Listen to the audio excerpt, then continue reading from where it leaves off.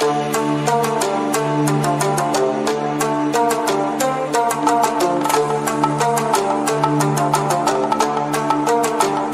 all, welcome back to the Nursing Zone YouTube channel. ఈ వీడియోలో BSc nursing course గురించి కంప్లీట్గా ఇన్ఫర్మేషన్ అయితే ఇవ్వబోతున్నాను. సో ఆల్రెడీ యూట్యూబ్లో చాలా వీడియోస్ అయితే ఉన్నాయి బీఎస్సీ నర్సింగ్ కోర్స్ గురించి. యాజ్ ఎ నర్సింగ్ గ్రాడ్యుయేట్గా నాకు నాకు తెలిసిన ఇన్ఫర్మేషన్ని నేను ఎందుకు అప్లోడ్ చేయకూడదని ఈ వీడియో చేస్తున్నాను అనమాట సో బీఎస్సీ నర్సింగ్ గురించి నాకున్న నాలెడ్జ్ని మీతో ఈ వీడియోలో షేర్ చేసుకోబోతున్నాను. సో ఫస్ట్ ఆఫ్ ఆల్ ఈ వీడియోలో నేను ఏమేమి ఎక్స్ప్లెయిన్ చేయబోతున్నాను అంటే అసలు ఏపీలో ఎన్ని నర్సింగ్ కోర్సెస్ ఉన్నాయి? అండ్ అలాగే వాటి డ్యూరేషన్ ఏంటి? ఒకవేళ మీరు నర్సింగ్ జాయిన్ అవ్వాలి అనుకుంటే ఇంటర్లో మీరు ఏం చదివి ఉండాలి? అండ్ అలాగే మోడ్ ఆఫ్ అడ్మిషన్ ఎలా జరుగుతుంది? అలాగే ఆంధ్రప్రదేశ్లో ఉన్న two hundred and twenty three nursing colleges list అయితే ఈ వీడియోలో అప్లోడ్ చేశాను. అండ్ అలాగే సబ్జెక్ట్స్ అండ్ సెమిస్టర్స్ ఎలా ఉన్నాయి at present two thousand twenty four ప్రకారం? నర్సింగ్ చేసిన తర్వాత యాజ్ ఎ క్లినికల్ నర్స్గా మీరు వర్క్ చేయాలి అనుకుంటే స్కోప్ ఎలా ఉంటుంది? లేదంటే మీరు టీచింగ్ చేయాలనుకుంటే స్కోప్ ఎలా ఉంటుంది? బట్ శాలరీస్ ఎలా ఉంటాయి? దాని గురించి అయితే వీడియోలో నేను ఎక్స్ప్లెయిన్ చేయబోతున్నాను. So first of all types of nursing courses three types of nursing courses ఉన్నాయి. ఫస్ట్ ఆఫ్ ఆల్ ఏఎన్ఎం అంటే auxiliary nurse midwife next GNM general nursing midwifery third one BSc nursing అనమాట ఇవి త్రీ టైప్స్ ఆఫ్ లేదా three kinds of nursing courses వీటి duration వచ్చేసి మీరు ANM చేయాలి అనుకుంటే టూ ఇయర్స్ చదవాల్సి ఉంటుంది. జిఎన్ఎం చేయాలి అనుకుంటే త్రీ ఇయర్స్ చదవాల్సి ఉంటుంది. బీఎస్సీ నర్సింగ్ చేయాలనుకుంటే ఫోర్ లేదా ఫోర్ అండ్ హాఫ్ ఇయర్స్ చదవాల్సి ఉంటుంది అనమాట ఇది కోర్స్ యొక్క durations. Next how to join in those courses. ANM చేయాలనుకున్నా జిఎన్ఎం చేయాలనుకున్నా లేదంటే బిఎస్సీ నర్సింగ్ చేయాలనుకున్నా మీరు ప్లస్ టూలో లేదంటే ఇంటర్మీడియట్లో ఏ గ్రూప్ తీసుకుని ఉండాలి. సో మీరు ఏఎన్ఎం చేయాలి అనుకుంటే ఇంటర్లో ఏ గ్రూప్ అయినా పర్లేదు అనమాట ఫర్ జిఎన్ఎం వచ్చేసి బైపీసీ లేదా ఎంపీహెచ్డబ్ల్యూ మల్టీపర్పస్ హెల్త్ వర్కర్ లేదా ఎంఎల్టీ చేసి ఉండాలి. ఫర్ బీఎస్సీ నర్సింగ్ కూడా అంతే బైపీసీ చేసి ఉండాలి ఇంటర్లో. లేదంటే ఎంపీహెచ్డబ్ల్యూ మల్టీపర్పస్ హెల్త్ వర్కర్ చేసి ఉండాలి లేదంటే ఎమ్మెల్టీ అయినా చేసి ఉండాలి అనమాట మోడ్ ఆఫ్ అడ్మిషన్ ఎలా జరుగుతుంది? మోడ్ ఆఫ్ అడ్మిషన్ వచ్చేసి first one counselling second one direct management seat so counselling ఎలా జరుగుతుందంటే యూనివర్సిటీ మనకు ఒక నోటిఫికేషన్ అయితే రిలీజ్ చేస్తుందన్నమాట. నోటిఫికేషన్ రిలీజ్ చేసినప్పుడు మనం ఇంత అమౌంట్ అని ఫీజ్ పే చేస్తాము. ఫీజ్ పే చేసిన తర్వాత మనం బీఎస్సీ నర్సింగ్కి అప్లై చేస్తాం అనమాట అప్లై చేసినప్పుడు కొన్ని డేస్కి వెబ్ ఆప్షన్స్ అయితే రిలీజ్ అవుతాయి. నథింగ్ బట్ కాలేజ్ ఆప్షన్స్ అయితే రిలీజ్ అవుతాయి. Uh, సో ఈ కౌన్సిలింగ్ ప్రాసెస్ కూడా త్రీ ఫేజెస్లో జరుగుతుంది. ఫస్ట్ ఫేజ్ వచ్చేసి కొన్ని కాలేజెస్ని సెలెక్ట్ చేసుకుంటారు. సెలెక్ట్ చేసుకున్నప్పుడు ఫస్ట్ ఫేజ్లో మీకు ఒక కాలేజ్ వస్తుంది. సో ఆ కాలేజ్ మీకు నచ్చకపోయినా లేదంటే అసలు మీకు ఫస్ట్ ఫేజ్లో సీటే రాకపోయినా మీరు అప్పుడు సెకండ్ ఫేజ్కి వెళ్తారు. సెకండ్ ఫేజ్లో కూడా మీరు సో మీకు వచ్చిన కాలేజ్ మీకు నచ్చకపోతే అగైన్ థర్డ్ కౌన్సిలింగ్ వెళ్తారు. సో అంతే. So first first phase second phase and third ఫేజ్లో కౌన్సిలింగ్ అయితే ముగుస్తుంది అనమాట సో మెయిన్ ఇంపార్టెంట్ థింగ్ వచ్చేసి ఏంటంటే ఫస్ట్ ఫేజ్లో మీకు వచ్చిన కాలేజ్ మీకు నచ్చలేదు. సో మీరు సెకండ్ ఫేజ్కి అప్లై చేసుకుంటున్నారు. మీకు ఫస్ట్ ఫేజ్లో వచ్చిన కాలేజ్ అనేది మీకు క్యాన్సిల్ అయిపోతుంది అనమాట ఒకవేళ మీకు సెకండ్ ఫేజ్లో ఏ కాలేజ్లో కూడా సీట్ దొరకకపోతే మీకు ఫస్ట్ ఫేజ్లో ఫస్ట్ ఫేజ్లో ఆల్రెడీ సీట్ వచ్చింది కదా దాంట్లో జాయిన్ అవ్వడానికి అవ్వదు అనమాట ఎందుకంటే మీరు ఫస్ట్ ఫేజ్ నుండి సెకండ్ ఫేజ్కి వెళ్ళారంటే ఫస్ట్ ఫేజ్లో వచ్చిన కాలేజ్ సీట్ అయితే క్యాన్సిల్ అయిపోతుంది. సో మీరు కాలేజ్ వెబ్ ఆప్షన్స్ పెట్టుకునేటప్పుడు కానీ కౌన్సిలింగ్ ఆప్షన్స్ పెట్టుకునేటప్పుడు కానీ చాలా జాగ్రత్తగా ఉండాలన్నమాట. నెక్స్ట్ వే నెక్స్ట్ వే వచ్చేసి direct management seat so every college every nursing college కూడా ఫిఫ్టీ కాలేజ్ స్టూడెంట్స్ని అడ్మిట్ చేసుకుంటుంది every year so fifty students కూడా కౌన్సిలింగ్ స్టూడెంట్స్ అయి ఉండరు. సో వాళ్ళ కాలేజ్ మేనేజ్మెంట్ని బట్టి Uh, వెదర్ కొన్ని మేనేజ్మెంట్ సీట్స్ కొన్ని uh, కౌన్సిలింగ్ సీట్స్ అయితే ఉంటాయి. సో ఈ విధంగా అడ్మిషన్ ప్రాసెస్ అయితే మన ఆంధ్రప్రదేశ్లో జరుగుతుంది. సో నెక్స్ట్ వచ్చేసి ఫీజ్ స్ట్రక్చర్ అనమాట అసలు ఫీజ్ స్ట్రక్చర్ uh, ఎలా ఉంటుంది అంటే సో బీఎస్సీ నర్సింగ్ ఒకవేళ మీరు బీఎస్సీ నర్సింగ్ జాయిన్ అవ్వాలి అనుకుంటే మళ్ళీ ఆంధ్రప్రదేశ్లో గవర్నమెంట్ కాలేజెస్ ఉన్నాయి ఆటోనమస్ కాలేజెస్ ఉన్నాయి అండ్ అలాగే ప్రైవేట్ కాలేజెస్ కూడా చాలా ఉన్నాయి. సో మీరు ఒకవేళ మీకు గవర్నమెంట్ కాలేజ్లో సీట్ వస్తే కనుక మీరు ఎలాంటి ఫీజు పే చేయక్కర్లేదు. మేబీ uh, ఒకవేళ అక్కడ హాస్టల్స్ అవైలబిలిటీ సరిగా లేకపోతే కనుక అక్కడ హాస్టల్కి ఫీజు పే చేయాల్సి ఉంటుంది. లేదంటే మీరు ఫుడ్కి పే uh, చేయాల్సి ఉంటుంది. అంతే. ఇంకా uh, కాలేజ్కి సంబంధించి ఎలాంటి ఫీజు పే చేయక్కర్లేదు. గవర్నమెంట్ కాలేజ్లో సీట్ వస్తాయి ఇదంతా. ఒకవేళ మీకు ప్రైవేట్ లేదా ఆటోనమస్ కాలేజెస్లో సీట్ వస్తే కనుక ఖచ్చితంగా ఫీజు వచ్చేసి అట్ ప్రజెంట్ ఫిఫ్టీ థౌజండ్ పైనే ఉంది. కొన్ని కాలేజెస్ అయితే స్కాలర్షిప్ తీసుకోకుండానే ఫిఫ్టీ థౌజండ్ సిక్స్టీ థౌజండ్ లేదంటే ఫార్టీ ఫార్టీ టు సిక్స్టీ వరకు అయితే కాలేజ్ ఫీజ్ స్ట్రక్చర్ ఉంది at present so management fees ఇంకెలా ఉంటుందో ఆలోచించుకోండి. సో యా ఫీజ్ స్ట్రక్చర్ అయితే ఇలా ఉంది. నెక్స్ట్ వచ్చేసి నర్సింగ్ కాలేజెస్ ఇన్ ఏపీ ఏపీలో ఎన్ని నర్సింగ్ కాలేజెస్ ఉన్నాయి?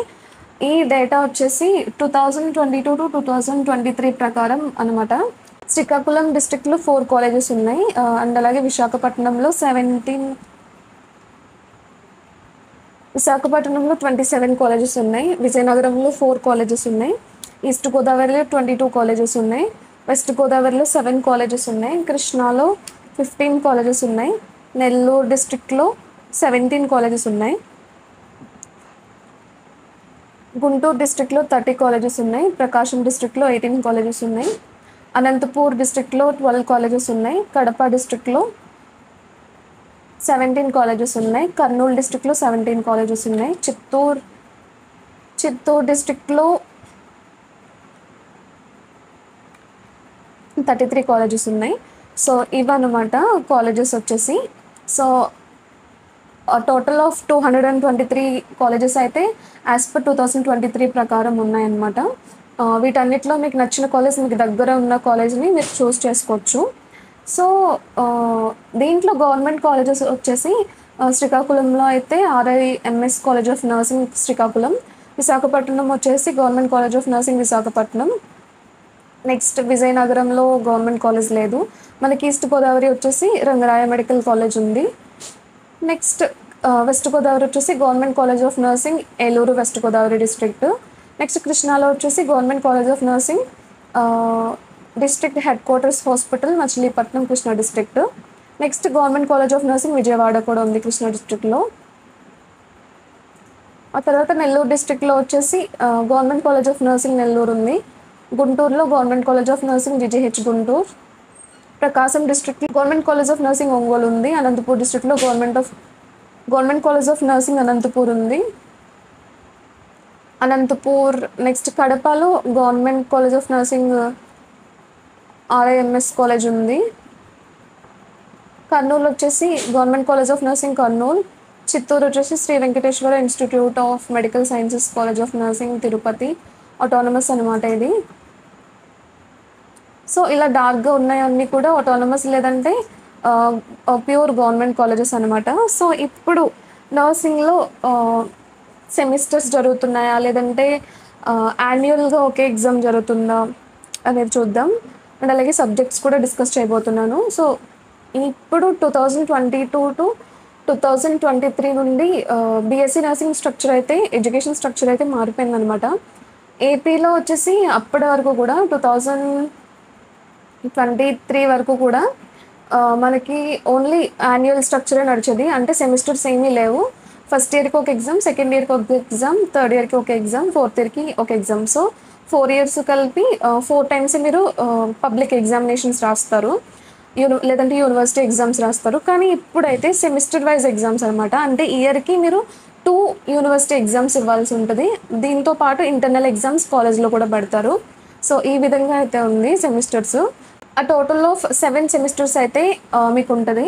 ఎయిత్ సెమిస్టర్ వచ్చేసి ఇంటర్న్షిప్ నడుస్తుంది అనమాట సో ఫస్ట్ సెమిస్టర్లో సబ్జెక్ట్స్ వచ్చేసి communicative English applied anatomy applied physiology applied sociology applied psychology nursing foundation so next second semester వచ్చేసి applied biochemistry applied nutrition and dietetics nursing foundation two health nursing informatics and technology ఇది ఉంటుంది so third semester so first and second సెమిస్టర్తో మీకు first year complete అవుతుంది. Next third semester వచ్చేసి applied microbiology and infection control including safety pharmacology one pathology one adult health nursing one with pathol pathophysiology.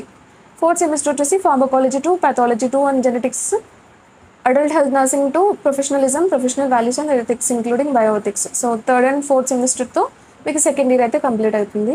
Next third year వచ్చేసి fifth semester child health nursing one mental health nursing one community health nursing one educational technology or nursing education introduction to forensic nursing and Indian laws ఇది fifth semester next sixth semester వచ్చేసి child health nursing two mental health nursing two nursing management and leadership midwifery or obstetrics and gynaecology nursing one so ఇది fifth and sixth సెమిస్టర్తో third year అయితే complete అవుతుంది. So ఇంకొక information ఏంటంటే మీరు first year second year third ఇయర్లో అన్ని subjects pass అయితేనే ఫోర్త్ ఇయర్కి ఎలిజిబుల్ అవుతారు. ఒకవేళ మీకు ఫస్ట్ ఇయర్లో సబ్జెక్ట్ ఉండిపోయినా మీరు సెకండ్ ఇయర్ రాయగలుగుతారు థర్డ్ ఇయర్ రాయగలుగుతారు.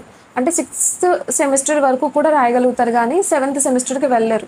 మీరు సెవెంత్ సెమిస్టర్లోకి ఎంటర్ అవ్వాలి అనుకుంటే సిక్స్త్ సిక్స్త్ సెమిస్టర్స్లో ఉన్న ప్రతి సబ్జెక్ట్ కూడా ప్రతి సబ్జెక్ట్ కూడా మీరు పాస్ అయి ఉండాలి.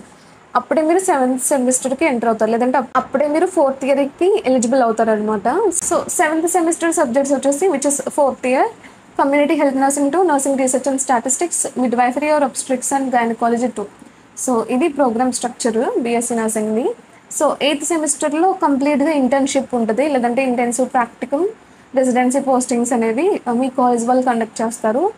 సో ఈ విధంగా semesters subjects BSc నర్సింగ్లో at present as per two thousand twenty four ప్రకారం ఉన్నాయి. Next scope after nursing so మీకు సో మీరు బీఎస్సీ నర్సింగ్కి అప్లై చేశారు. సో పాస్ అవుట్ అయ్యారు.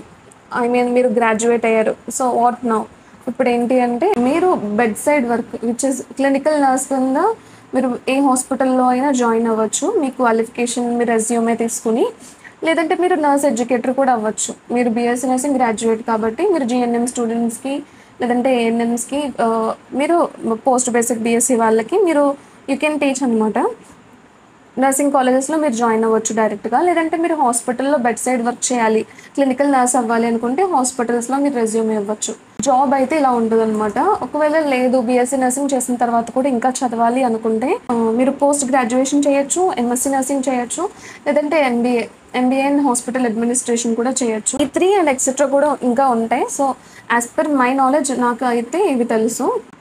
ఇది స్కోప్ బీఎస్సీ నర్సింగ్ తర్వాత. సో వీడియో ఎండింగ్ అయితే వచ్చేసాం మనం. సో సాలరీస్ సాలరీస్ ఎలా ఉంటాయి? సో మీరు ఫ్రెషర్ అయితే కనుక మీరు salary expectations in Andhra Pradesh below fifteen K పెట్టుకోండి. మీరు పాస్ అవుట్ అయితే కనుక బిలో ఫిఫ్టీన్ కే మాత్రమే మీకు శాలరీ ఉంటుంది. ఎక్కడైనా సరే ఎన్ఏబిహెచ్ హాస్పిటల్స్ అయినా సో నార్మల్గా లోకల్లో ఉండే హాస్పిటల్స్ అయినా కూడా ఫిఫ్టీన్ కే బిలోలోనే మీరు గ్రాడ్యుయేట్ అయిన తర్వాత మీకు శాలరీ ఉంటుంది. సో నేను తెలంగాణ గురించి మాట్లాడట్లేదు. తెలంగాణలో కొంచెం ఎక్కువే ఉంది salary BSc nursing pass out అయిన తర్వాత అక్కడ సిక్స్టీన్ థౌసండ్ ఫైవ్ హండ్రెడ్ లేదంటే seventeen thousand five hundred eighteen thousand ఇలా ప్రొవైడ్ చేస్తున్నారు వాళ్ళు. కానీ మన ఆంధ్రప్రదేశ్లో అలా లేదు. ఇప్పుడు నేను చెప్పింది ప్రైవేట్ సెక్టార్లో అనమాట ఒకవేళ మీరు గవర్నమెంట్లో వర్క్ చేయాలి అనుకుంటే కనుక స్టాఫ్ నర్స్ పోస్టులు అండ్ అలాగే కమ్యూనిటీ హెల్త్ ఆఫీసర్స్ పోస్టులు ఉన్నాయి. ట్వంటీ ఫైవ్ నుండి థర్టీ కే వరకు ఇన్కమ్ అయితే ఉంటుంది. సో ఈ విధంగా ఉంటుంది అనమాట salaries so that's it about the video as a nurse గ్రాడ్యుయేట్గా లేదంటే యాజ్ ఎ వర్కింగ్ నర్స్గా నాకు తెలిసిన ఇన్ఫర్మేషన్ అయితే నేను ఈ వీడియోలో కంప్లీట్గా ప్రొవైడ్ చేశాను. సో అడ్మిషన్ నుండి శాలరీస్ వరకు కూడా. సో మీకు ఈ వీడియో హెల్ప్ఫుల్ అయితే కనుక ఈ వీడియోని లైక్ చేయండి షేర్ చేయండి అండ్ ఆల్సో సబ్స్క్రైబ్ చేయండి ఛానల్ని ది నర్సింగ్ జోన్రా అలాగే మన ఛానల్లో ఎడ్యుకేషనల్ వీడియోస్ అయితే చాలా ఉన్నాయి. వాటిని కూడా వాచ్ చేయండి. Thank you